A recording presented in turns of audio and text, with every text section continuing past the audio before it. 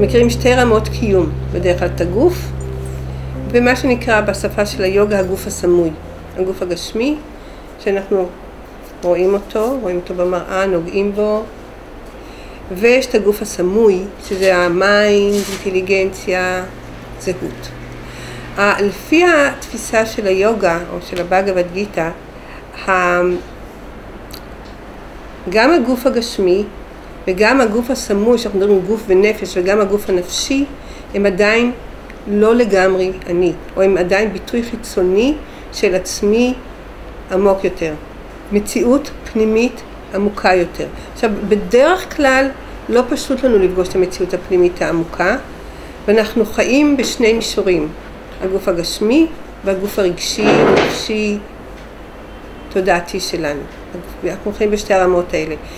ואחת הבעיות הבסיסיות, ללא הבדל מהתנסות החיים שלנו, מישהו נראה בעולם הזה לרגע כאילו מאושר, מישהו נראה כאילו סובל בעולם הזה, וזה הרבה פעמים העולם הזה מושווה לקרוסלה, לפעמים אנחנו למעלה, לפעמים אנחנו למטה, אבל ללא הבדל איפה אנחנו נמצאים בקרוסלה הזאת של החיים, הטענה היא שיש בנו מימד מסוים שנשאר לא מסופק.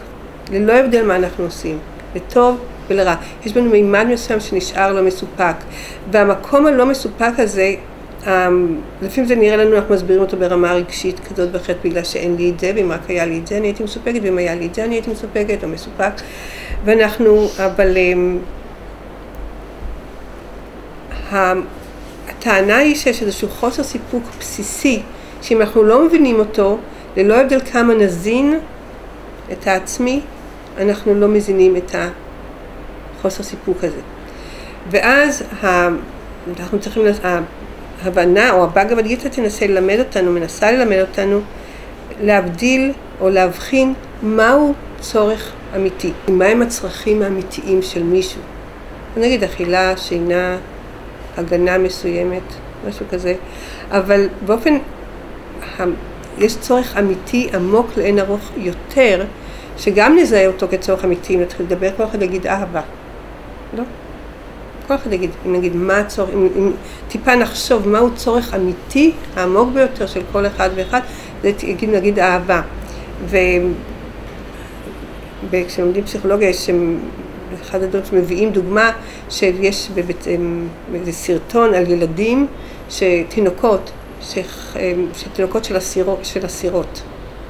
תינוקות, כן, בסדר, תינוקות של אסירות, לא של אסירים, תינוקות של אסירות, שלא, זה לא,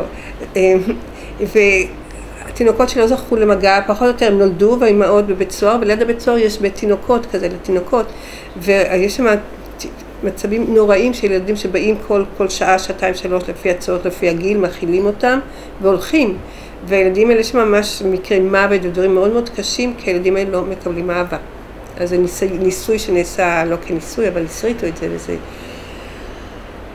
אז כל אחד יבין שאפילו אוכל או שינה או הגנה הם חשובים, אבל תחושת הגנה העמוקה ביותר היא אהבה. וכל אחד מאיתנו, גם אם קיבלנו אפילו את האהבה הראשונית הבריאה, יש מקום שהוא עמוק בפנים, שהוא לא מסופק, והוא לא מסופק לא כי משהו לא בסדר בנו. העולם הזה הוא חולף, הוא... ויש עוד בעיה מאוד מאוד מרכזית בעולם הזה, שהוא מורכב מישויות חיים, שכל אחת מהן, יותר או פחות, היא אגוצנטרית. אז בגלל שכל אחד מאיתנו הוא אגוצנטרי בצורה מאוד מאוד בסיסית, אגו, המושג אגו, סוגר אותנו ויוצר את התחושה, אני במרכז. וזה כאילו, אז בגלל המצב הזה, אנחנו חיים בעולם שבו אנחנו לא יכולים באמת להיות אהובים, אנחנו לא יכולים באמת להיות מוערכים כפי שאנחנו מרגישים שמגיע לנו, והדבר הכי חמור במעטפת האגו הזאת, שאנחנו לא יכולים לאהוב כפי שהלב שלנו היה, מוצא, היה רוצה. וה, ולמעשה כשאנחנו לומדים ידע רוחני, הידע הרוחני מחדד יותר את ה... או מקרב אותנו, מסביר לנו מי אני. מאפשר לנו לחוות את העצמי הרוחני ולהתחיל לחוות מה, מה הנטיות של העצמי הרוחני.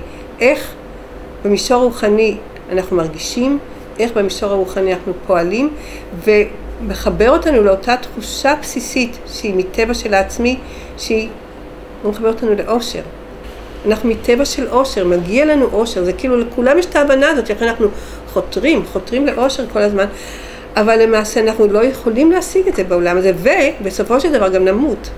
שזה ממש מכה חזקה לתוך ה... לא, מכה סופית, הניסיון הזה להיות מאושר. וה... אבל מה שהידע הרוחני ילמד אותנו, שבעצם אנחנו מטבע של עושר, אנחנו מטבע של עושר אינסופי, נצחי, אינסופי בעוצמות שלו, נצחי בזמן שלו, והבעיה היחידה היום, שאנחנו לא חיים במישור העושר הנצחי הזה, אנחנו לא חיים במישור הטבע הנצחי שלנו, במישור העצמי האמיתי.